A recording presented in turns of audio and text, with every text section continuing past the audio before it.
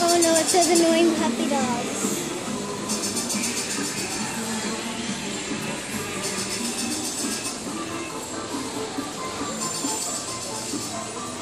tiempo la